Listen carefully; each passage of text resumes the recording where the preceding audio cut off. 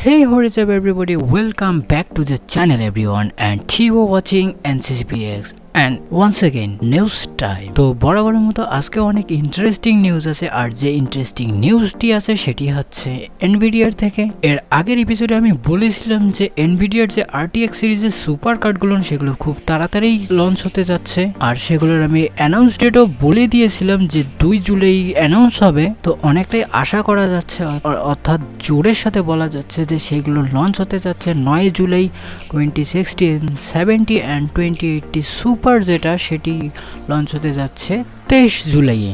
এটার প্রাইস বলার আগে একটা কথা বলে নিই যে এটা আগের বারের তুলনায়, অর্থাৎ আরটিএক্স এর twenty seventy twenty sixty and twenty eighty ছিল, সেগুলোর কিন্তু যে কনফিগারেশন ছিল, সেখান থেকে স্লাইটলি স্পেকটা একটু ভালো করেছে। একবারে যে বেশি করেছে তা কিন্তু নয়। তার মধ্যে সিগনিফিকেন্টলি জাম্প করেছে আরটিএক্স টোয়েন্টি সিক্সটি তার কারণ এর অনেক কিউডাকোর বেশি দেওয়া সত্ত্বেও কিন্তু এর আরেকটি জিনিস বিষয় বাড়িয়ে দিয়েছে, সেটি হচ্ছে ভি র্যাম যার ফলে আপনারা ফোরটিন ফোরটি পি গেমিং খুব আরামসে করতে পারবেন। আর এর প্রাইস শুরু হচ্ছে চারশো ডলার থেকে। অ্যান্ড টোয়েন্টি সেভেন্টি যেটা, সেটার প্রাইস শুরু হচ্ছে পাঁচশো ডলার থেকে। And finally twenty eighty super যেটি শুরু হচ্ছে সাতশো ডলার থেকে। তবে টোয়েন্টি এইটটি টিআই যেটা, সেটার কোনো সুপার কার্ড আসেনি। তবে আগের বারের আরটিএক্স এর তুলনায় এটা অনেকটাই ইমপ্রুভ অ্যান্ড স্লাইটলি স্পেক একটু ভালো। তবে এর সবচেয়ে বড় বিষয়টি হচ্ছে এর প্রাইস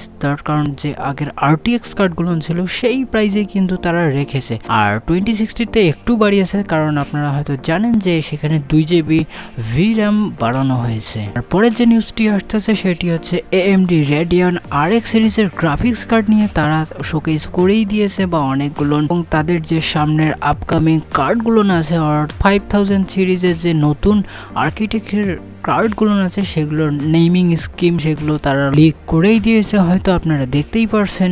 তবে তারা অনেকটাই চেষ্টা করছে এমডি গ্রাফিক্স কার্ড মার্কেটে উঠানোর জন্য, কিন্তু যে এনভিডিয়া কাজটা শুরু করছে আপনাদেরকে হয়তো বলেইছে যে এনভিডিয়া সকল সেগমেন্টের কার্ড তৈরি করেই চলেছে। আর আমার মনে হয় না এই কারণে যে এএমডি যতই কার্ড তৈরি করুক, তারা কিন্তু উঠে দাঁড়াতে না পারারই কথা। আপনারা হয়তো একটা জিনিস জানেন না যে এএমডি কিন্তু অনেক কিছুই বলে, কিন্তু এনভিডিয়া সেটা করে দেখায়। আর পরের যে নিউজটি আসতেছে, সেটি হচ্ছে অ্যাপেলের থেকে, আর অ্যাপেলের যে chip designer sir Jony Ive. উনি হচ্ছেন প্রধান অ্যাপলের ডিজাইনার, যেখানে আপনারা লেখা দেখতে পারেন যে ডিজাইন বাই ক্যালিফোর্নিয়া। উনি সবগুলো আইপড আইপ্যাড, আইফোন, আইম্যাক, সকল কিছু উনি মেইন ডিজাইন করে থাকেন। আর আমাদের মিস্টার টিম কুক বলেছেন যে তার অ্যাপলের মধ্যে যে অবদান, সেটা অতুলনীয়।